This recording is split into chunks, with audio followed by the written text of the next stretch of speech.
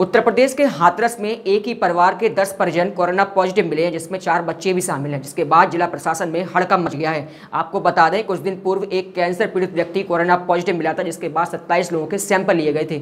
इसमें 10 लोग corona positive मिले जिसके बाद ये आंकड़ा पंद्रह तक पहुँच गया है। इसकी पुष्टि हाथरस सी ने खुद की है। तो जो ज्ञानंद अग्रवाल, जो कि कैंसर से पीड़ित थे, नोएडा से कीमोथेरेपी करा के आए थे उनके हमने सारे फैमिली मेंबर्स को क्वारंटाइन किया था और उनके फिर सैम्पलिंग की गई। सैम्पलिंग में उनके परिवार के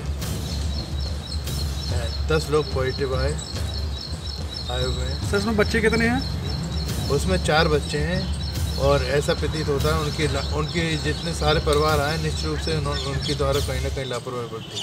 सर इसमें ये बताया गया था कि जो जिनको ज्ञानंद जी को जो क्वारंटीन किया गया था तो उससे पहले वो नोएडा गए थे। नोएडा से ही इनकी रिपोर्ट पॉजिटिव पाई गई थी। उसके बाद भी प्रशासन ने उनको दो चौबीस घंटे बाद क्वारंटीन किया। ये कहीं ना कहीं लापरवाही है जिला उन्होंने बताया नहीं तो उन्होंने किया था दिक्कत है। और इस वजह से उनका हमने जाँच कराई थी। जब वो पॉजिटिव आ गए तब उनके द्वारा हमारे पास रिपोर्ट दी गई। उसमें उनकी रिपोर्ट पॉजिटिव पाई गई। सर कहीं ना कहीं कहीं ना कहीं उनके द्वारा लापरवाही की जा रही। लगातार प्रशासन हम लोगों को कहीं ना कहीं गुमराह किया गया।